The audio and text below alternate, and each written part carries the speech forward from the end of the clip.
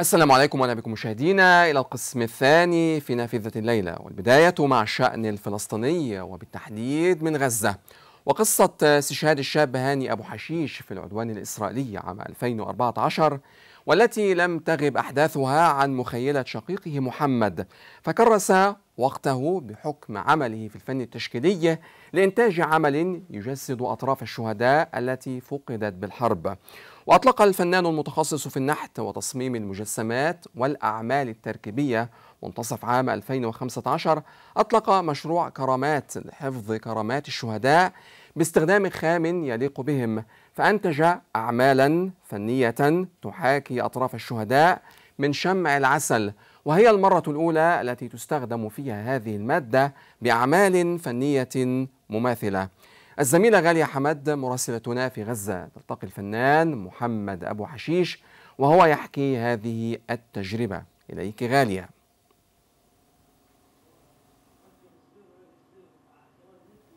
نعم شكرا جزيلا لك سالم. آه نحن الآن في بيت وفيها أيضا ورشة الفنان محمد أبو حشيش في منطقة المغازي شرق قطاع غزة. هذه المنطقة التي استشهد فيها شقيقه هاني شرقي آه حي المغازي هنا أو شرقي مخيم المغازي.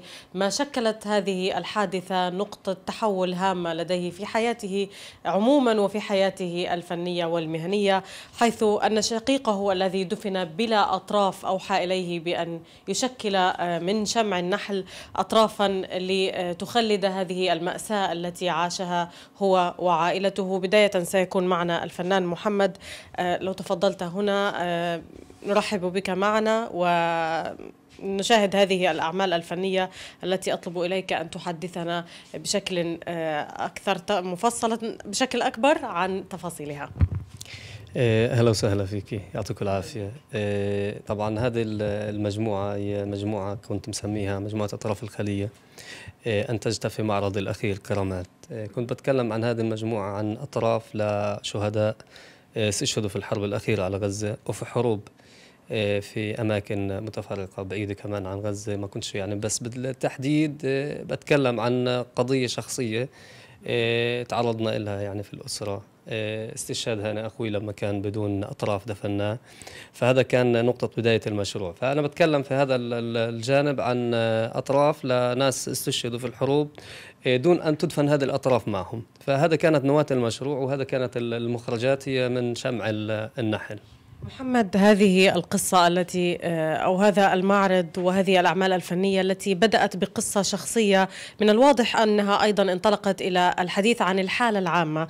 نستطيع أن نرى يعني أطراف لأطفال وأطراف صغيرة من المؤكد أنها لم تكن لله الحمد يعني في بيتكم ولكنها كانت في قطاع غزة طوال تلك الحرب المأساوية التي مرت على قطاع غزة.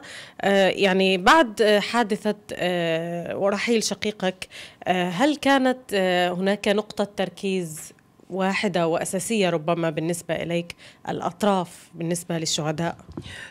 صحيح. هو موضوع الأطراف يعني حكيت لك أنه موضوع بالذات شخصي بتعلق بجثة هاني لما استشهد كان بفقد الأطراف. فكمان فيها رمزية للأشلاء اللي ما اندفنت مع الشهداء. في ناس اندفنت بدون رأس بدون في أجساد كمان ما اندفنتش. فأنا كنت برمز عن يعني في, في الأطراف هاي برمزية للجسد كله وبسلط الضوء على هذه القضية بس أنا حبيت أخرجها بشكل يعني فني من ناحية الشكل المخرج التكنيك الخامه اللي استخدمتها. وفيما يتعلق بالخامه أريد أن أسألك عن سبب اختيارك لشمع النحل. شمع النحل يعني هو مادة جديدة. أول مرة حدا بيستخدمها في إنتاج أعمال نحتية بالشكل هذا. غير هيك أنه مادة بلونها قريب من لون البشرة وهي مادة مادة يعني عضوية حية. فلهيك حبيت أستخدم هذه المادة. بعدين فيها نوع من المعاصرة في شكلها في سداسي اللي موجود فيها. مادة فيها من التجديد ممكن يدعم العمل الفني ويقويه وماذا عن الرسالة التي في هل في هذه المادة أيضا رسالة فيما يتعلق بأرواح الشهداء وأطرافهم التي ربما دفنوا بدونها؟ بالتأكيد طبعا هي مادة إحنا دائما بنستخدمها للعسل نستخدمها يعني لأشياء هيك فيها نوع من الترف في الحياة ولا لإنتاج أشياء بعيدة نوعا ما عن الموضوع اللي أنا بشتغل فيه. كمان هذا التناقض ممكن يخدم المشروع بنظري.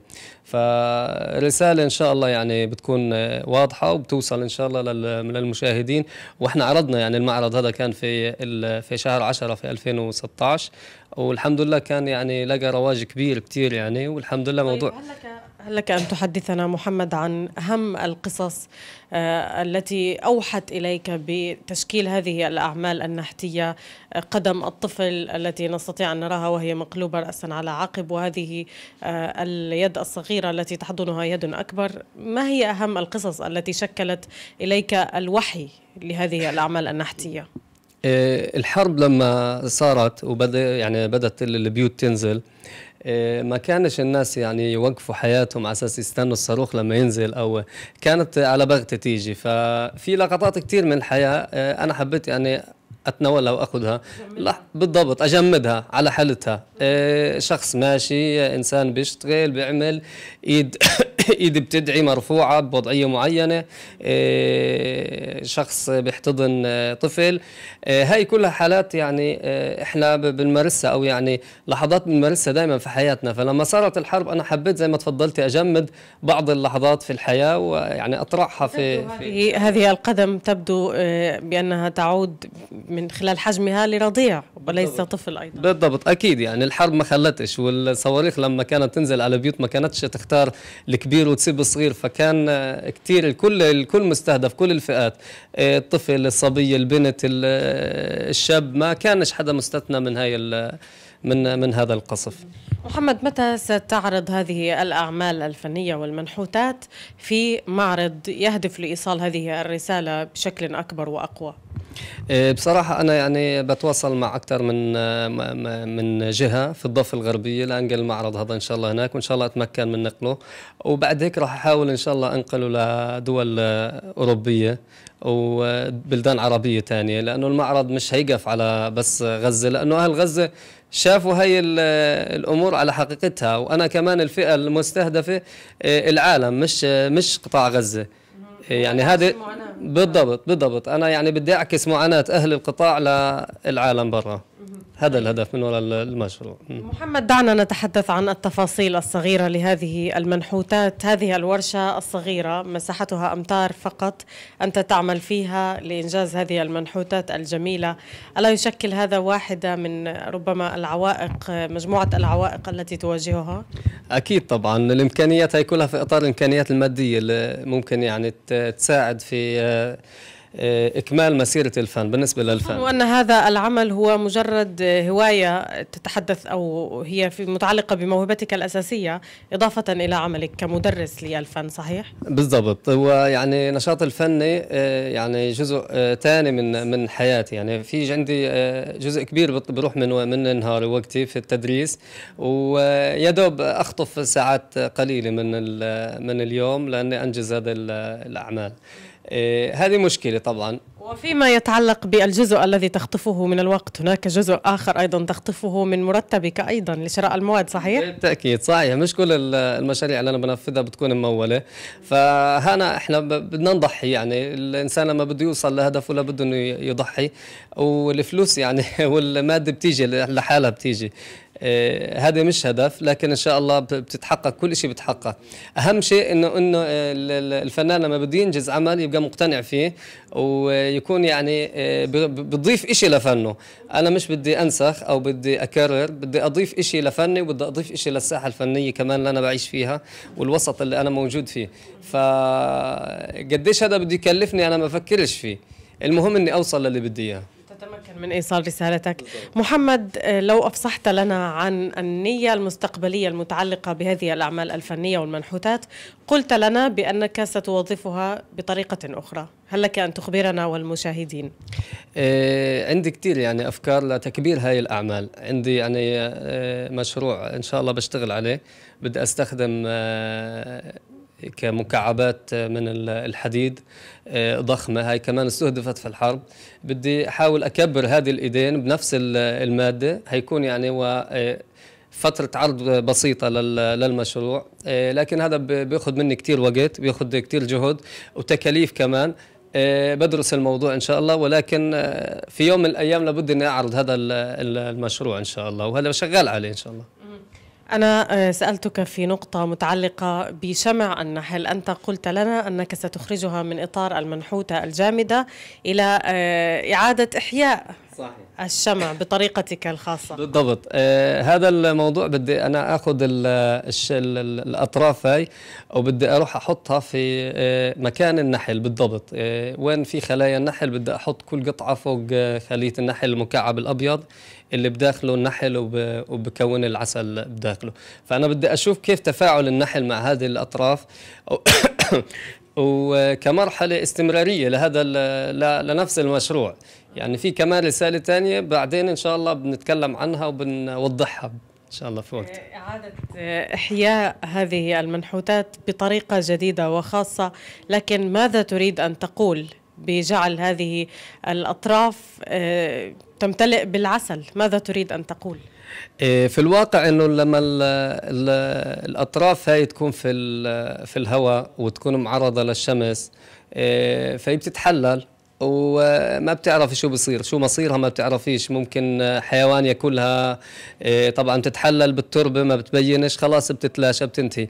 ولكن أنا اللي بدي احكيه إنه هاي الأطراف راح تضلها محافظة على شكلها محافظة على قيمتها. إيه وكمان العسل بزيدها يعني يعني بزيدها دلال زي ما بنتكلم.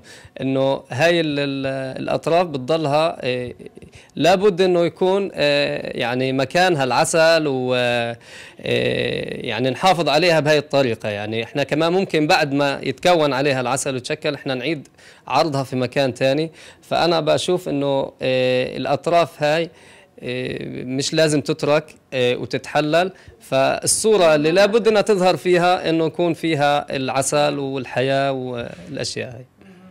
على الرغم من أنها بترت وفصلت عن أجساد أصحابها إلا أن إعادة تشكيلها بهذا الشكل يعيد إليها الحياة. بالإضافة إلى الأفكار الخلاقة التي تحدثت عنها أشكرك جزيلا الفنان الفلسطيني محمد أبو حشيش. وقد سمعنا وإياك زميلي سالم والمشاهدين الكرام هذه الرسائل التي يحاول أن يوصلها من خلال معاناة مر بها هي هو وعائلته من خلال جثة شقيقه الشهيد هاني الذي دفنوه بلا أطراف. وهذه كانت واحدة من أشد المعاناة من شد أشد أوجه المعاناة التي مر بها أهالي قطاع غزة خلال الحروب على قطاع غزة الثلاث الأخيرة. وأيضا خلال الحرب حرب 2014 التي امتدت لخمسين يوما وحصدت خلالها أكثر من ألفي روح في قطاع غزة بالإضافة إلى مآس لا يمكن أن تمحى حتى وإن طالت السنوات. إليك زميلي سالم. شكرا لك الزميلة غالية حمد مراسلة الجزيرة مباشر في قطاع غزة وبالتأكيد من رحم المعاناة تولد العديد من الأفكار المبتكرة. نشكر أيضا الفنان محمد أبو حسين. شكرا جزيلا له. أنا الفنان محمد أبو حشيش عفوا شكرا جزيلا له. النافذة مستمرة وبعد الفاصل نتابع لقاء مع جيف هالبر الناشط الإسرائيلي أحد المشاركين في مؤتمر إسرائيل وخروقات القانون الدولي.